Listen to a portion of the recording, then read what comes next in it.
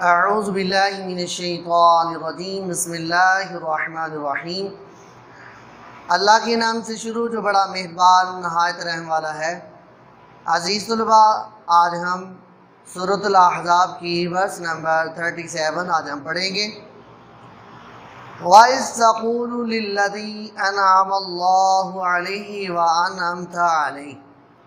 وَإِذْ، واو کا معنی ہے اور، اِذ ظرف کے لیے استعمال ہو رہا ہے۔ اور آپ جانتے ہیں کہ ظرف کی ٹو کائنڈز ہیں، ظرف زما اور ظرف مکھا اور یہاں پر آپ صلی اللہ علیہ وآلہ وسلم کو اللہ تعالیٰ یاد کروا رہا ہے کہ اے محمد صلی اللہ علیہ وآلہ وسلم، اس وقت کو یاد کرو۔ تقولو تم نے کہا، یہاں پر ہم ادب کے لیے ترجمہ کریں گے، جب آپ نے کہا کس سے کہا، للذی، اس سے انعام اللہ، جس پر اللہ تعالیٰ نے انعام کیا۔ اور انعامہ کا معنی ایک ہم کریں گے، جس پر اللہ تعالیٰ نے احسان کیا۔ اب وہ شخصیت کون سی ہے جس کے متعلق اللہ تعالیٰ نے یہ آیت مقدسہ نازل فرمائی۔ اسی آیت میں ان کا نام بھی آ رہا ہے۔ آقا کریم صلی اللہ علیہ وآلہ وسلم کے چہیتے صحابی بھی ہیں اور آپ صلی اللہ علیہ وآلہ وسلم کے آزاد کردہ غلام بھی ہیں۔ اب یہ ترجمہ ہم آگے پڑھنے سے پہلے کچھ میں اپنی گفتگو کا حصہ ایسے سمجھوں گا۔ غور سے سماعت کیجیے گا۔ کہ حضرت زید بن حارث، نام ہے حضرت زید بن حارث رضی اللہ تعالی عنہ۔ یہ آقا کریم صلی اللہ علیہ وآلہ وسلم کے آزاد کردہ غلام ہیں۔ حضرت خدیجہ القبرہ رضی اللہ عنہ ان کے پاس یہ غلام تھے۔ اور انہوں نے آپ صلی اللہ علیہ وآلہ وسلم کو تحفے میں یہ غلام ہتھیہ کر دیا۔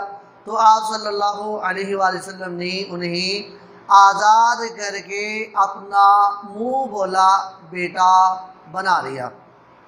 عزیز طلبہ چونکہ آپ پہلے لیسن پہلے لیسن میں آپ منہ بولے جو بیٹے ہیں، لے پال بیٹے ہیں، ان کے متعلق جو قوانین ہیں، وہ پڑھ چکے ہیں۔ اور جب ان کو آپ ذہن نشین رکھیں گے یہ لیسن یہ والی آیت مقصہ کا ترجمہ آپ کے لیے سمجھنا بہت ایزی ہو جائے گا۔ لے پالک جو لے کے پالا ہو، لے کے پرورش کی جائے۔ منہ بولا بیٹا، جس کو منہ سے کہہ دیا جائے، وہ حقیقی بیٹا نہیں ہوتا۔ زمانہ جالیت میں جس کو منہ سے بیٹا کہہ دیا، اس کو حقیقی بیٹا تصور کیا جاتا تھا۔ تو حضرت زید بن حارث آپ صلی اللہ علیہ وآلہ وسلم کی آزاد کردہ غلام اور آپ صلی اللہ علیہ وسلم نے انہیں منہ بولا، بیٹا بنایا، ان کی اچھی پرورش کی اور ان کی شادی اپنی پھپھی بہن حضرت زینب بنت جہاں سے کر دی۔ صحابی کا نام ہے زید بن حارث۔ رضی اللہ عنہ۔ اور جن سے شادی ہوئی، ان کا نام ہے زینب بنت جہش۔ زینب بنت جہش رضی اللہ تعالی عنہ۔ یہ آپ صلی اللہ علیہ وآلہ وسلم کی پھپھی ذات بہن ہیں۔ تو حضرت زید کی شادی ان سے ہوئی۔ چونکہ حضرت زید بن حارث رضی اللہ تعالیٰ عنہ یہ ایک رنگ کے حساب سے ان کا رنگ جو تھا وہ کالا تھا۔ اور حضرت زینب بنت جہاز جن کے ساتھ ان کی شادی ہوئی، یہ اچھے رنگ کی تھی، خوبصورت تھی، چونکہ آپ صلی اللہ علیہ وسلم کے ساتھ نسبت ہے۔ ایک خاندانی نسبت ہے، تعلق واسطہ ہے۔ اس وجہ سے اس گرانے کے اعتبار سے اللہ تعالیٰ نے انہیں حسن سے نوازا تھا۔ اب جب شادی ہوئی تو کچھ معاملات جو ہے، کچھ دیر بعد معاملات، تعلقات اس میں بگاڑ پیدا ہونا شروع ہو گیا۔ حضرت زینب بنت جاش حضرت زید بن حارث رضی اللہ تعالیٰ عنہ، ان کو تانے دیا کرتی تھی کہ تم ایک غلام ہو، تم غلام ہو اور تمہارا رنگ کالا ہے۔ اور اسی طرح تعلقات کی بنا پر آہستہ آہستہ بگاڑ پیدا پیدا ہونا شروع ہوا۔ اس کے بعد حضرت زین، حضرت زید بن حارث رضی اللہ تعالیٰ عنہ، انہوں نے آپ صلی اللہ علیہ وآلہ وسلم کے پاس آ کے مرتبہ شکایت کی بھی کی۔ اور آپ صلی اللہ علیہ وآلہ وسلم نے انہیں صبر کی تلقین فرمائی اور یہی فرمایا کہ تم اپنی بیوی کو اپنے پاس روکے رکھو، صبر و تحمل سے کام لو۔ لیکن جب تعلقات میں بگاڑ زیادہ پیدا ہوا تو حضرت زید بن حارث رضی اللہ تعالیٰ عنہ، انہوں نے یہ جو تعلقات میں بگاڑ تھا، اس کو ختم کرنے کے لیے اس کا حل صرف طلاق سمجھا۔ اب حضرت زید بن حارث نے حضرت زینب بنت جہاز کو طلاق دے دی۔ اس کے بعد آپ صلی اللہ علیہ وآلہ وسلم نے ان سے نکاح کر لیا۔ زمانہ جہالیت میں منہ بولے بیٹے کی بیوی کے ساتھ نکاح کرنا، یہ غلط تصور کیا جاتا تھا اور لوگ تان و تشنی کرتے تھے۔ لیکن جب آپ صلی اللہ علیہ وآلہ وسلم نے ان کے ساتھ نکاح فرمایا تو زمانہ جالیت کی اس رسم کو ختم کر دیا۔ اب آئیں ہم اپنے ترجمے کی طرف چلتے ہیں کہ واحد سقولو اور جب آپ نے کہا للذی اس سے، اس شخص سے انعام اللہ علیہ، جس پر اللہ تعالیٰ نے انعام کیا یا انعامہ کا معنی ہے اللہ تعالیٰ نے احسان کیا۔ اب اللہ کا احسان، اللہ کا فضل، اللہ کا انعام کیا ہے؟ اللہ کا انعام ہے کہ حضرت زید بن حارث کو اللہ تعالیٰ نے ایمان کی دولت سے سرفراز فرمایا۔ آپ صلی اللہ علیہ وآلہ وسلم کا منہ بولا، بیٹا بنایا اور صحابیت کی صف میں شامل فرمایا یہ اللہ تعالیٰ کا احسان ہے۔ اور اللہ تعالیٰ چاہے جس پر چاہے جب چاہے، تو اللہ تعالیٰ انعام و کرام، فضل اپنا احسان فرما سکتا ہے۔ وَأَنْعَمْتَ عَلَيْهِ۔ اور انعمت کا معنی ہوتا ہے تو نے انعام کیا تو نے احسان کیا۔ یہاں پر ہم ادب کو ملحوظ خاطر رکھتے ہوئے انعمت کا معنی کریں گے۔ وَأَنْعَمْتَ عَلَيْهِ۔ اور آپ صلی اللہ علیہ وسلم نے بھی اس پر احسان کیا کیا کہ ان کو اپنا منہ بولا بیٹا اور لاڈلا بیٹلا، بیٹا آپ کو بنایا اور آپ کی حضرت زید بن حارث کی جو ہے اچھے طریقے کے ساتھ پرورش بھی کی۔ تو تقولو جو ہے، تقولو ہم نے ورڈ پڑھا۔ اور جب آپ نے کہا اس شخص سے، تو کیا کہا؟ ام سیکھ، روکے رکھ، پاس رکھ۔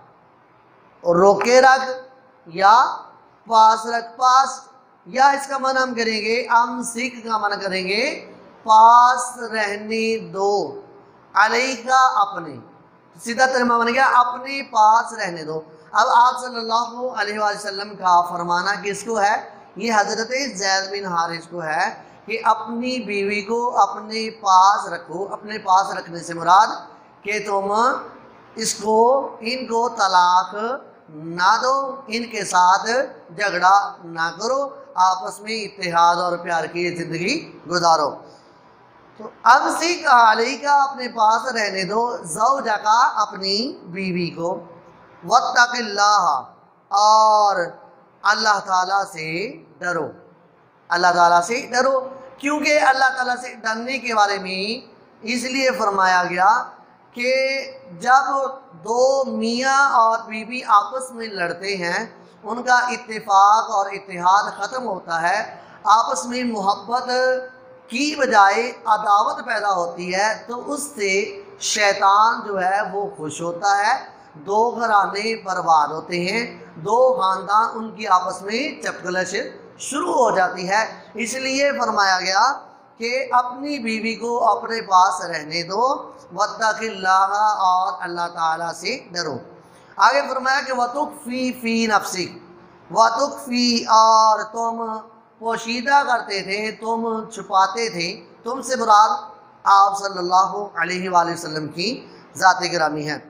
وَتُقْ اور تم چھپاتے تھے مَا فِي نَفْسِكْ وَتُقْ فِي فِي اور تم چھپاتے تھے جو فی نفسی کہ تمہارے نفس میں، جو تمہارے دل میں تھا، اس بات کو چھپاتے تھے۔ اب وہ بات کون سی ہے جس کو آپ صلی اللہ علیہ وسلم چھپاتے تھے؟ اللہ مبدی اور اللہ تعالیٰ اس کو ظاہر کرنے والا تھا۔ مبدی ظاہر کرنے کے معنی میں اللہ تعالیٰ اس کو مبدی اس کو ظاہر کرنے والا ہے۔ اب آپ صلی اللہ علیہ وسلم کون سی بات ہے جس کو پوشیدہ کر رہے تھے؟ کیونکہ آپ صلی اللہ علیہ وآلہ وسلم کو پہلے سے اس بات کے بارے میں معلوم تھا کہ ایک وقت آئے گا، دونوں کی رنجش، دونوں کی چپگلش، عداوت، دشمنی بڑھے گی۔ اور بڑھنے کے ساتھ آخر کار حضرت زید بن حارث اپنی بیوی کو طلاق دے دیں گے، حضرت زینب بنت جاش کو، اور اس کے بعد اللہ تعالیٰ کے حکم سے زینب بنت جاش رضی اللہ عنہ یہ آپ صلی اللہ علیہ وآلہ وسلم کے نکاح میں آ جائیں گی۔ اس بات کو آپ صلی اللہ علیہ وآلہ وسلم پوشیدہ کرتے تھے۔ وَتَقْشَ النَّاسِ اور تم لوگوں سے ڈرتے تھے۔ تم لوگوں سے ڈرتے تھے۔ لوگوں سے ڈرنا کیا ہوتا ہے؟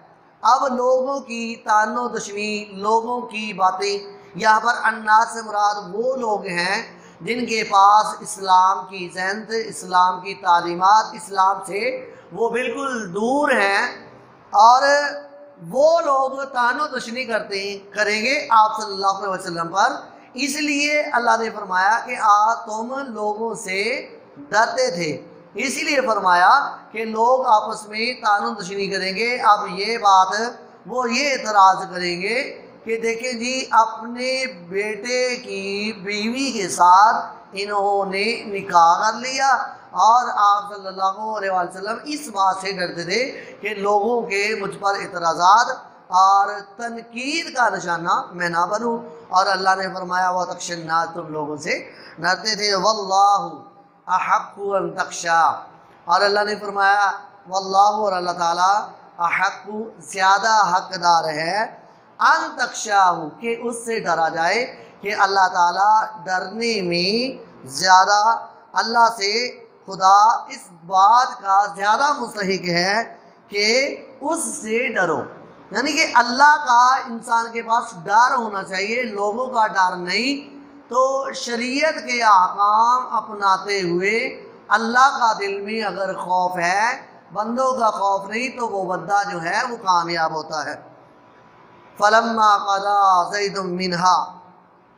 فلما پس جب قدا پورا کر لیا، کس نے؟ زید حضرت زید بن حارث، میں نے پہلے آپ کو نام بتایا، پورا نام کیا ہے؟ زید بن حارث۔ جب زید بن حارث رضی اللہ تعالیٰ عنہ نے پورا کر لیا، منہا، ان سے۔ من کا معنی سے ہا ہا کی ضمیر ہے، یہ اشارہ کر رہی ہے کن کی طرف حضرت زینب بنت جاش کی طرف وہ اشارہ ہے کہ جب ان سے اپنی حاجت کو پورا کر لیا، حاجت پورا کرنے سے مراد کہ جب حضرت زید بن حارث کو کوئی اور صورت طلاق کی سوا نظر نہ آئی، واترن حاجت کے معنی میں، واترن کا معنی ہے حاجت۔ جب زید نے ان سے، کن سے؟ زینب بنت جا سے حاجت کو پورا کر لیا۔ عزیز طلبہ یہاں پر میں نے سیپریٹ اس کا ترجمہ لکھ دیا ہے۔ آگے ہمارے پاس کلمہ آ رہا ہے زب وج نہ کہا۔ زوج نہ کہا۔ اب یہ علیحدہ علیحدہ میں نے اس لیے لکھا ہے صرف آپ کو سمجھانے کے لیے، اور ویسے تو یہاں پہ اکٹھا لکھا ہے۔ آپ دیکھیں، زوج، یہ ورب ہے، ورب کا معنی یہاں پر لکھا ہوا ہے، نکاح کر دیا۔ نکاح کر دیا۔ نہ جو زمین ہے، یہ اللہ تعالیٰ کی طرف لوٹ رہی ہے۔ کہ زوج ہم نے نکاح کر دیا کا آپ کا۔ آپ سے مراد آپ صلی اللہ علیہ وآلہ وسلم کا۔ کہ جب حضرت زید بن حارث نے حضرت زینب بنت جہاش کو طلاق دے دی، پھر اللہ نے فرمایا کہ ہم نے نکاح کر دیا کا آپ کا۔ ہاں ان سے، کن سے؟ حضرت زینب بنت جہاز سے نکاح کر دیا۔ اب جب اس کا ہم ترجمہ کریں گے، کمپلیٹ ترجمہ کریں گے، تو سیدھا ترجمہ ہو جائے گا۔ ہم نے آپ صلی اللہ علیہ وسلم کا نکاح ان سے کر دیا۔ کن سے؟ حضرت زینب بنت جا سے۔ لیکن جب ہم ترجمہ لکھیں گے، اس میں ہم یہ نہیں لکھیں گے کہ زینب بنت جا سے کر دیا۔ کیوں؟ ہاں ضمیر ہے، اس کا معنی ان سے ہی کریں گے۔ یہاں پر نون موجود ہو، نون کا ترجمہ آئے گا۔ یہاں پر کوئی اشارہ موجود ہو، اشارہ دیا گیا ہو وہاں پر ہم اشارے کا ترجمہ ہی کریں گے۔ لِكَيْ لَا يَكُونَ عَلَى الْمُؤْمِنِينَ حَرَجٌ لِكَيْ لَا تاکہ لِكَيْ تاکہ لا یکون نہ ہو علی مومنوں پر، تاکہ مومنوں پر نہ ہو حراجن تنگی۔ تنگی یا اس کا معنی ہم کریں گے مذائقہ تاکہ مومنوں پر کوئی مذائقہ کوئی تنگی نہ ہو، کس میں؟ فی ازواجی ادعیائہم۔ فی کا معنی ہے میں۔ ازواج، زوج کی جمع۔ ازواج بیویوں۔ ادعیائہم منہ بولے بیٹوں کی بیویوں کے بارے میں تو سیدھا ترجمہ ہم کریں گے۔ منہ بولے بیٹوں کی بیویوں کے ساتھ آگے بریکٹ میں لکھیں گے، نکاح کرنے میں حراجن کوئی تنگی لا تکونا نہ ہو۔ تو سیدھا ترجمہ بن جائے گا کہ مومنوں کے لیے ان کے منہ بولے، بیٹوں کی بیویوں، بریکٹ میں لکھیں گے کے ساتھ نکاح کرنے میں تنگی نہ ہو، مذائقہ نہ ہو۔ اذا قدو منہن وطرا اذا جب قدو وہ پورا کر لیں۔ وہ سے مراد مومن، مومنوں کی طرف اشارہ ہے۔ اذا قدو وہ پورا کر لیں۔ من ہننا قدو جمع میں آ رہا ہے من ہننا وہ بھی جمع میں آ رہا ہے۔ قدو مذکر ہے، مذکر میں تمام مومنین شامل ہیں۔ من ہننا تمام مومن عورتیں شامل ہیں۔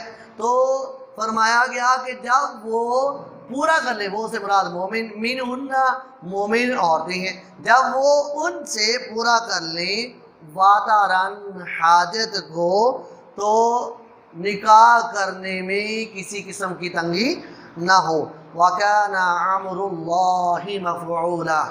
وَكَانَ عَمْرُ اللَّهِ اور اللہ تعالیٰ کا عمر جو ہے مفعولاً ہو کر رہنے والا ہے۔ اس سے مراد اللہ تعالیٰ جو قانون، جو ضابطہ، جو راستہ، جو طریقہ کسی بھی قوم کے لیے بنا دے، اس میں کبھی بھی کسی قسم کی چینجنگ نہیں آ سکتی۔ عزیز طلباء، آج ہم نے صورت الاحزاب کی ورس نمبر تھرٹی سیون آج ہم نے پڑھی۔ امید کرتا ہوں اس کو آپ اچھی طرح ازبر کریں گے۔ وسلام۔